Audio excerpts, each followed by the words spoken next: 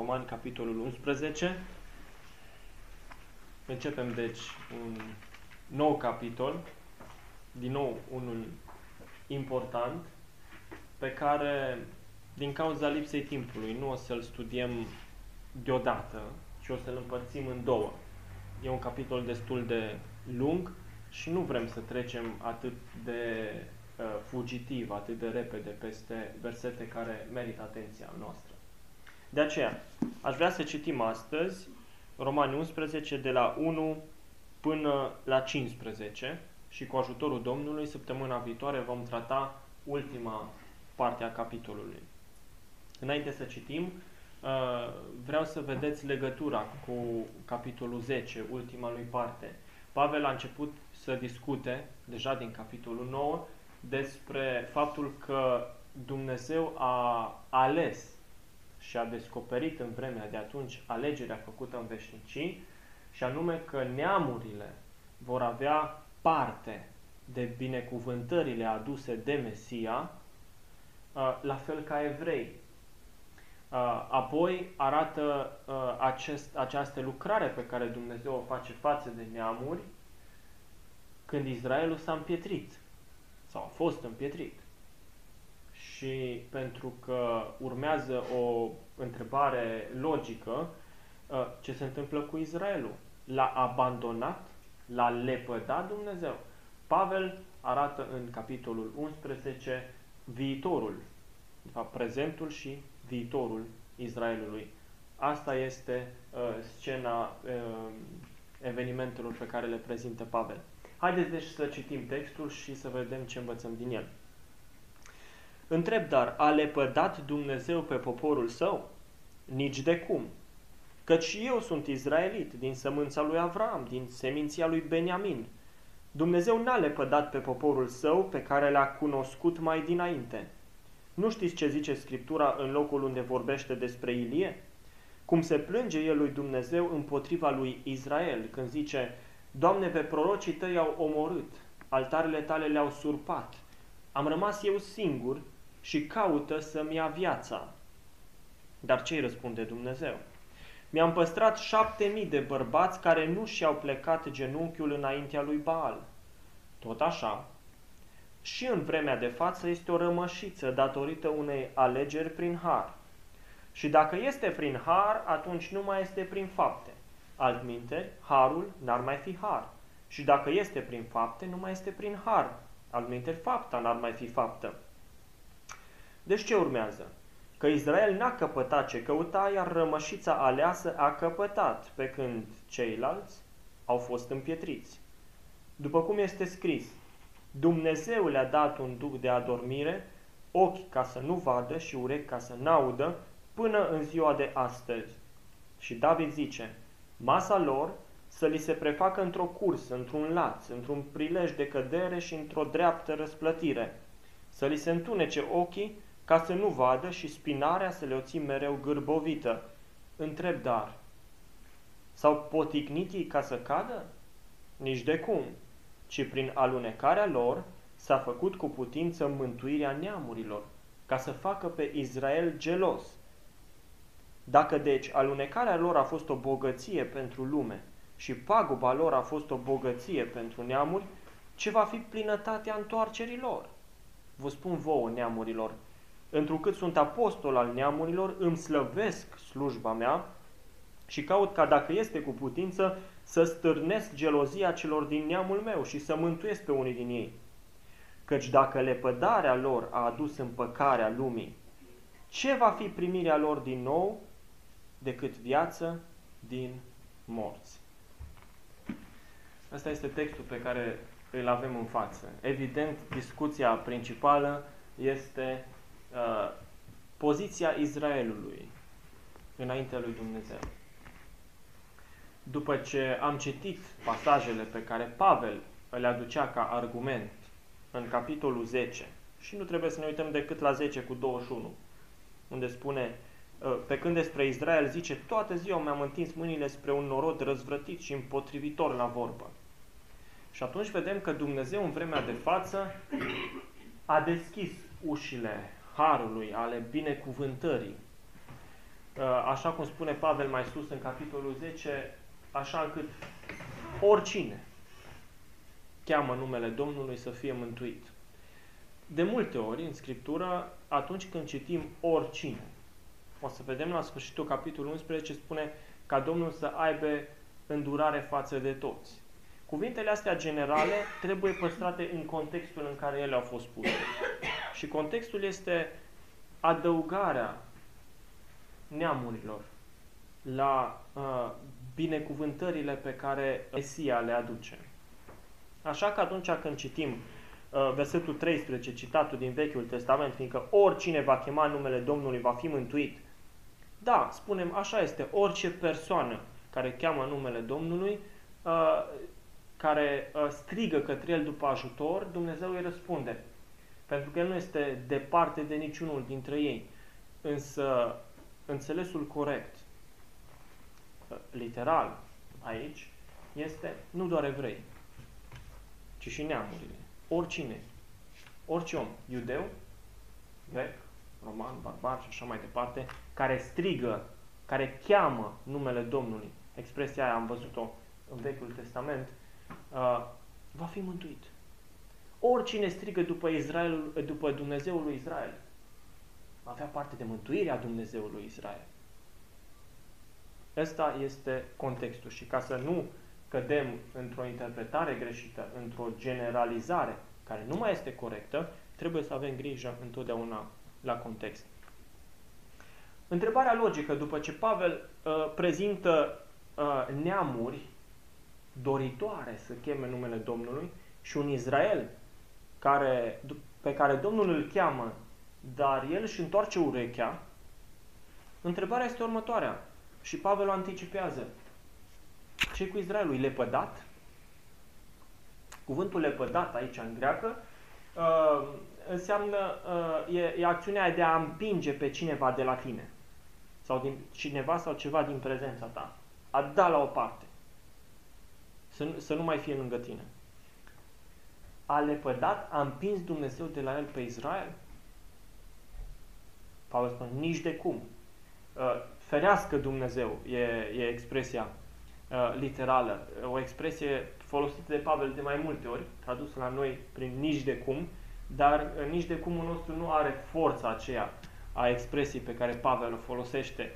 Uh, e un răspuns, nu doar un nu hotărât, ci un nu uh, care, un răspuns care provoacă oroare la, dacă te gândești la cealaltă variantă. Nici de cum. Ferească Dumnezeu ca să fi lepădat Israel. Vedeți, trăim într-o vreme, nu de azi de ieri, de secole bune. Trăim într-o vreme în care uh, neamurile cumva au pus stăpânire și au însușit și au arogat promisiuni care nu sunt ale lor.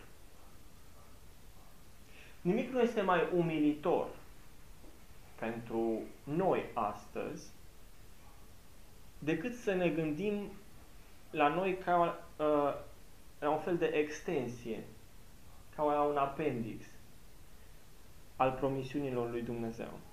Până la urmă știți ceva? Nu suntem mai mult decât atât. O să vedem mai târziu că suntem un măslin sălbatic, altoit împotriva naturii noastre, într-un măslin bun. Cu ajutorul Domnului vedem săptămâna viitoare asta. Tot săptămâna viitoare o să vedem că nu suntem decât un număr de plin care odată împlinit, odată ajuns la el, se pune punct de către Dumnezeu și se întoarce apoi harul spre Israel. Tot mai mulți oameni uh, încearcă să spună că Dumnezeu a lepădat Israelul. Ziceam că uh, creștinii astăzi, foarte mulți dintre ei din păcate, uh, spun că biserica, prin asta îi înțeleg Biserica Universală, ceea ce e doar o, uh, un rod al imaginației unora, uh, este continuia, continuatoarea Israelului Și în felul acesta, promisiunile neîmplinite din Vechiul Testament, făcute de Israelului, se vor împlini în biserică. Fals. Fals. Dumnezeu a făcut promisiuni Israelului. Și Dumnezeu are un plan cu Israelul. De asta zic, neamurile sunt, până la urmă, un fel de appendix, de apendice la planul de mântuire a lui Dumnezeu. Umilitor să te gândești la, la lucrul acesta, mai ales dacă privim la atitudinea Israelului. Poate uh, poporul cu spiritul de superioritate, complexul de superioritate cel mai acut dintre, dintre toți. Cu toate astea, ei sunt iubiți datorită părinților lor și datorită promisiunilor pe care Dumnezeu le-a făcut. Dumnezeu nostru nu se schimbă. Pavel spune, a lepădat Dumnezeu Israelul? Nici de cum. Și apoi își apără originea lui. Spune, căci și eu sunt izraelit din sămânța lui Avram, din seminția lui Beniamin. Pavel apără identitatea pe care el o are. Prin naștere, evreii uh, erau privilegiați, căci Dumnezeu a ales un singur popor național care să-i poarte numele, cărora să li se reveleze, care să aibă parte de binecuvântările lui, nu pentru meritele lor. Și vedem că cei mai mulți ajung în iad. Pentru că așa a vrut Dumnezeu. Punct. Asta e, până la urmă, uh, baza că Dumnezeu a ales în felul acesta. Și toate neamurile unite, fie sub o mărturisire comună a recunoașterii lui Isus ca Mesia, fie sub uh, armele unei cruciade și steagurile ei, nu pot să-L întoarcă pe Dumnezeu împotriva planului pe care El l-a conceput. A lepădat Dumnezeu Israelul nici de cum. Vorbeam săptămâna trecută cu uh, cineva care îmi spunea că a avut o discuție cu uh, un tânăr și uh, spunea despre tânărul acesta nesiguranța lui în doctrină îl, uh, îl făcea să aibă râvnă fără pricepere. Îl făcea entuziast, dar uh, fără să știe prea multe uh, din lucrurile pe care le-a apărat cu atâta înverșunare. Și mi-a spus fratele ăsta că uh, tânărul acela, supărat pe faptul că el insista că Dumnezeu are un viitor cu Israelul, spunea, uh, Pavel n-a fost evreu. Deci Pavel a fost creștin. Da.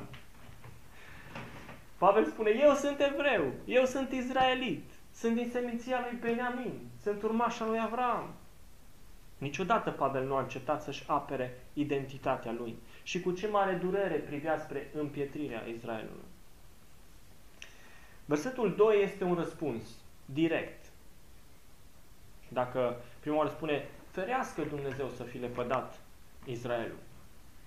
Versetul 2 spune, Dumnezeu n-a lepădat pe poporul său pe care l-a cunoscut mai dinainte, l-a preștiut.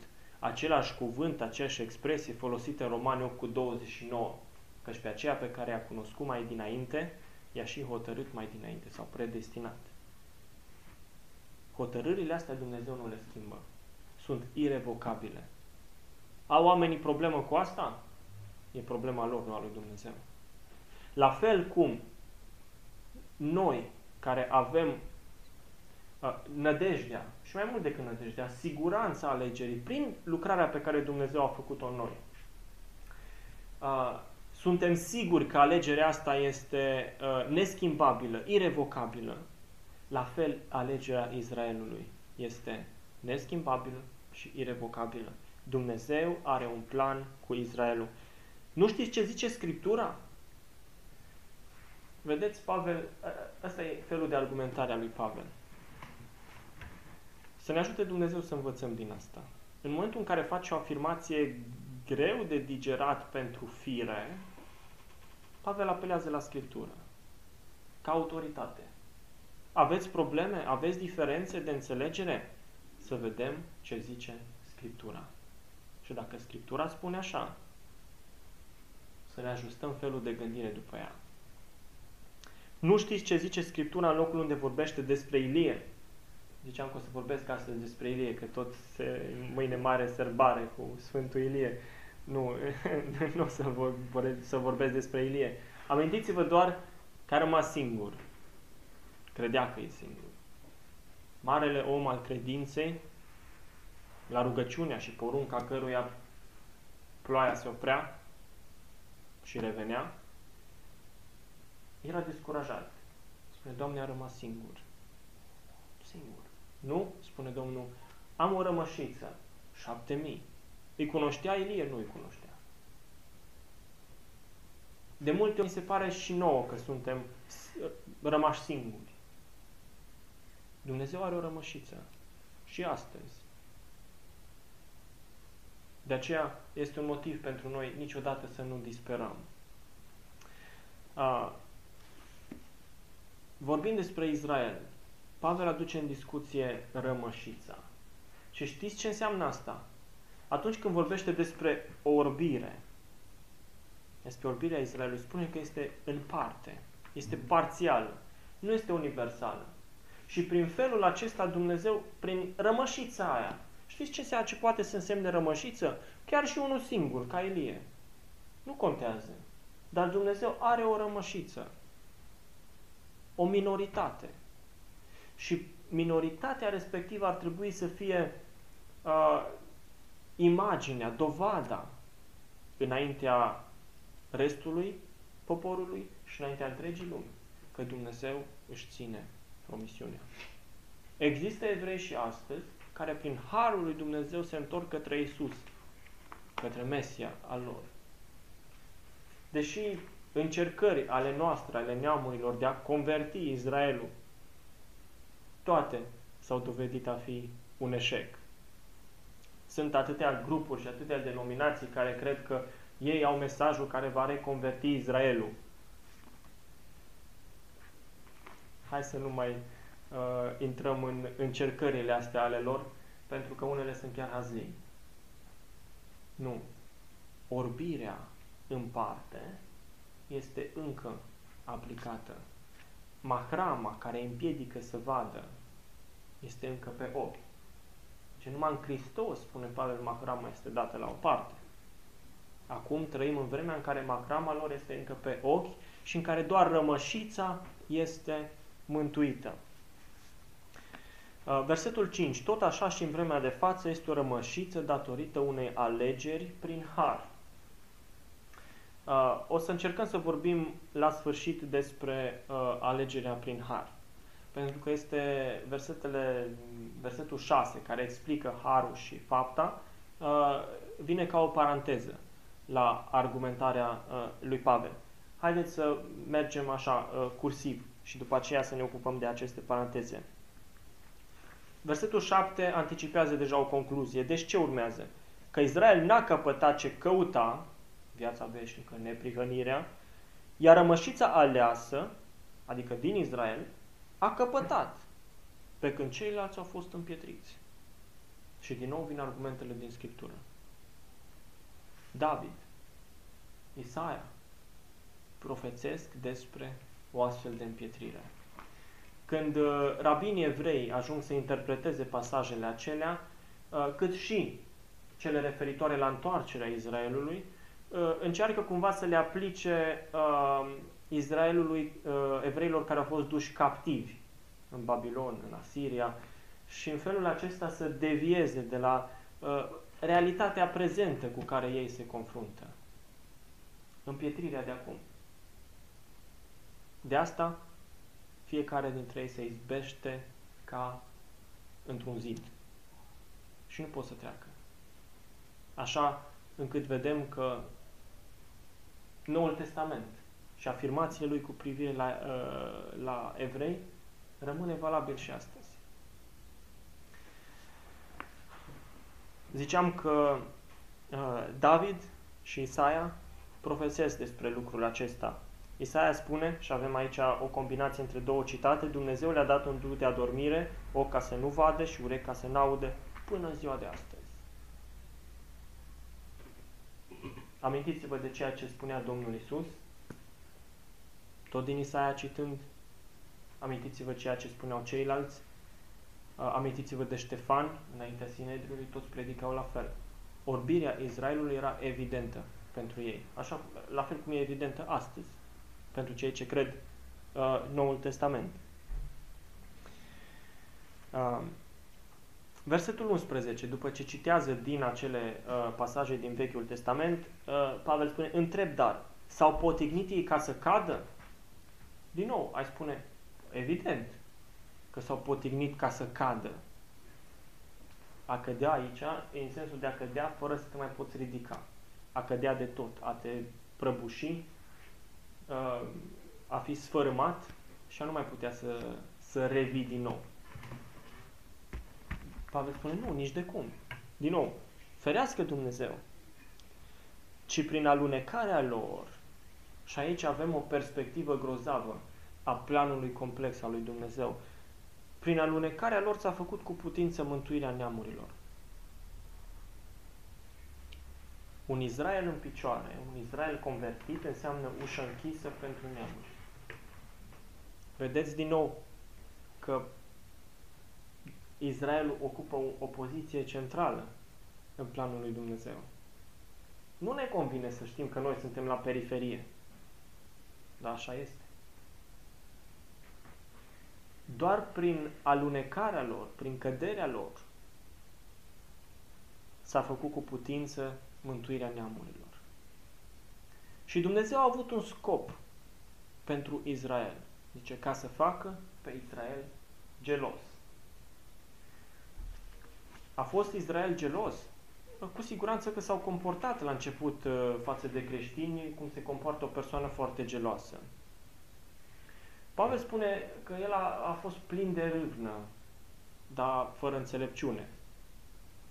Cam așa e și cu cei geloși în, în reacțiile pe care le au. Uh, nu există prea multă gândire în ele. Uh, persecuția creștinilor, uh, uciderile pe care evreii le-au făcut, toate arată uh, zelul acela, gelozia aceea, dar n-a fost una sănătoasă. Ei bine, nici de-a lungul timpului n-au fost. Însă, din păcate, s-a schimbat în istoria creștinismului uh, rolurile. Persecutorul a devenit persecutat și milioane de evrei au căzut victime în, în mâinile creștinilor, așa zișilor creștini. Um, dacă, deci, versetul 12, alunecarea lor a fost o bogăție pentru lume, Dumnezeu a schimbat răul în bine. Răul Israelului a avut, a adus pentru noi, cei de afară, cei străini, cei fără drepturi, cei fără Dumnezeu, a adus o bogăție. O bogăție în care stăm și astăzi, o bogăție care până la urmă ne-a adus în locul acesta, o bogăție care ne face să cântăm laude pentru Jehova, Dumnezeu Israelului. Căderea lor ne-a adus nouă o bogăție. Și întrebarea retorică spune, ce va fi plinătatea întoarcerii lor? Acum ies și vin la Hristos câte unul, doi, o rămășiță. Ce va fi când se vor întoarce toți?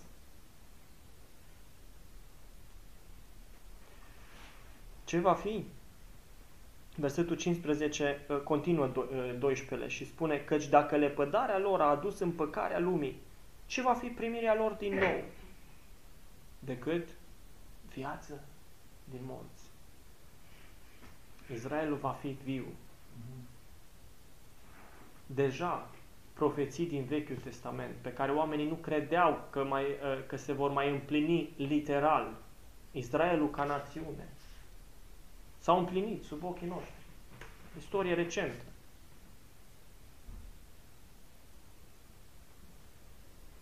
Cu toate astea, spiritual, ei încă sunt morți. Ca națiune sunt vii. Ceea ce nu erau înainte de 48. Ca uh, spiritualitate sunt încă morți. Ce va fi atunci când Israelul întreg se va întoarce spre Isus ca Mesia lor? Va fi viață din morți dar mai va fi ceva. ce se va întâmpla cu neamurile? Amintiți-vă că profeția spune că atunci când Israelul se va întoarce, toate neamurile vor lupta împotriva lui. Și la fel cum neamurile care nu aveau încotro să caute scăpare, au ridicat ochii în sus și au chemat numele Domnului și au fost mântuiți, tot așa și Israel. Îl va căuta pe Domnul și Domnul le va răspunde și îl va mântui din necazul lui pe Iacov. Vremurile alea nu sunt la așa distanță îndepărtată cum își imaginează unii. Pot fi chiar foarte aproape.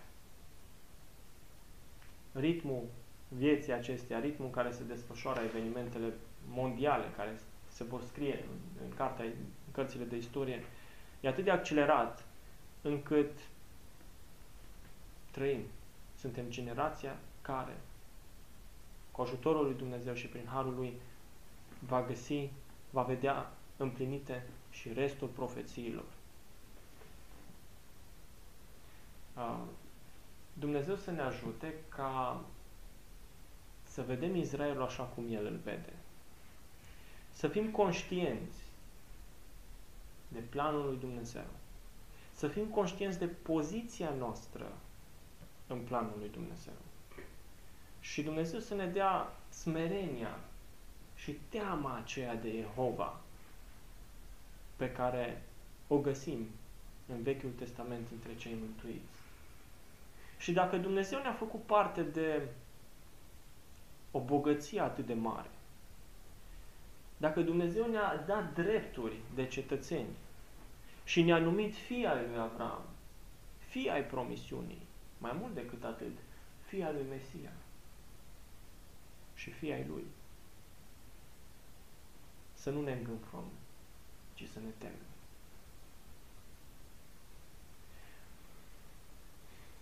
Am zis că, așa ca paranteză, o să vorbim despre alegere și ce înseamnă alegerea prin har. Dacă e îngăduință, haideți să vorbim săptămâna viitoare despre asta, pentru că avem și legătura cu textul pe care îl vom studia.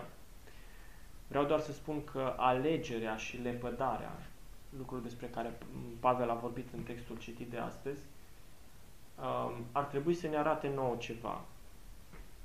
Lepădarea lor ar trebui să ne arate asprime lui Dumnezeu, cum spune Pavel, și alegerea ar trebui să ne arate bunătatea Lui.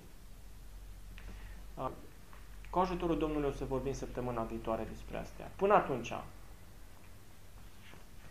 haideți ca să avem permanent pe buze rugăciunea ca Dumnezeu să ne dea, să ne deschidă ochii să vedem cu adevărat poziția noastră înaintea Lui și în cadrul planului Său. O astfel de înțelegere va deschide uh, uși noi spre uh, relația noastră cu El, spre una mai adâncă, spre o smerenie mai mare, spre o reverență mai mare și spre o dragoste și o dependență de Dumnezeu mai mare. Și în ultimul rând, spre o iubire pentru poporul Domnului. Așa cum e, împietrit și rebel. O iubire mai mare, de care suntem datori. Și o recunoștință pentru felul în care Dumnezeu a lucrat prin ei până acum. Slăvit să fie Dumnezeu pentru planul Lui, care e irevocabil, care e neschimbabil, care e veșnic. Și slăvit să fie El pentru că ne-a descoperit planul Său. O parte din El, atât cât e suficient pentru noi să știm, pentru ca numele Lui să fie înălțat între noi atunci când îl pomenim. Slăvit să fie El. Amin.